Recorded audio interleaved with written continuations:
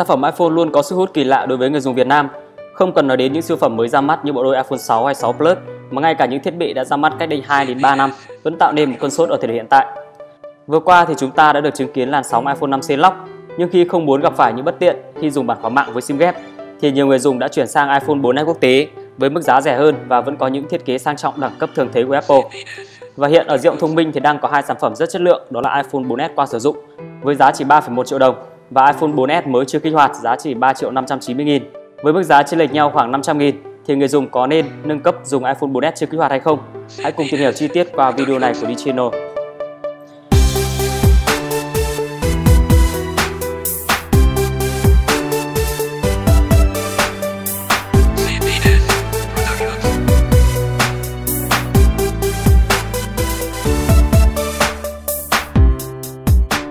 Yếu tố đầu tiên chúng ta sẽ nói đến chính là hình thức của máy.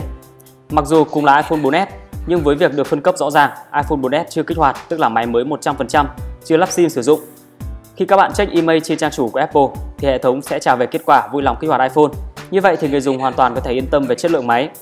Đương nhiên là vì máy mới nên hình thức của máy còn rất đẹp, không hề có xước sát nào. Chúng ta vẫn sẽ có thiết kế đẳng cấp sang trọng của Apple với khung viền thép chắc chắn và hai mặt kính cường lực sang trọng.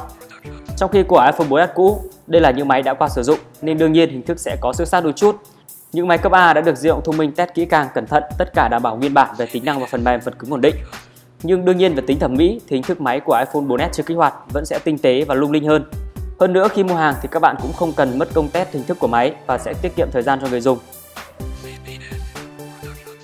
Thứ hai, một yếu tố mà các bạn cũng khá quan tâm trên hai sản phẩm này đó chính là về mặt hiển thị có khác nhau hay không. Mặc dù cả hai chiếc 4S thì đều sở hữu phần cứng giống nhau, nhưng với phiên bản iPhone 4S chưa kích hoạt mà cụ thể ở đây là phiên bản ZP ở Hồng Kông vốn đã được rất nhiều dùng ưa chuộng và chọn mua thay vì một số thị trường khác. Với phiên bản này thì màn hình rất xanh và trong, hiển thị sắc nét.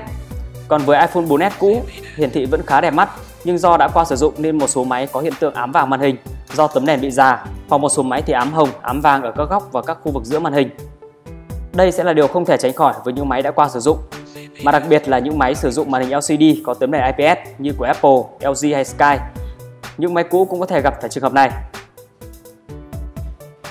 Và thứ ba, mình sẽ cùng các bạn đi phân tích yếu tố chênh lệch về giá.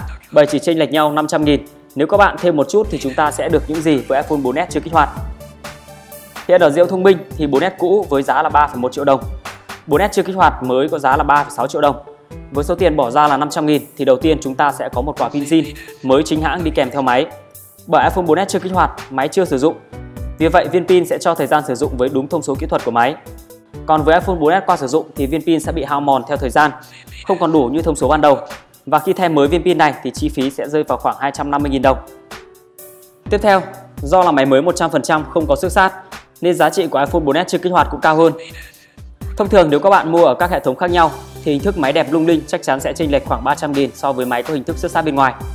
Và cuối cùng sẽ là 300.000 cho sự yên tâm về chất lượng sản phẩm Apple đã được đảm bảo bởi đây là những thiết bị hiếm hoi chưa được kích hoạt trên hệ thống và hiện tại thì khá nhiều bạn đang săn đón những sản phẩm này, nhưng hầu như trên thị trường đều không có.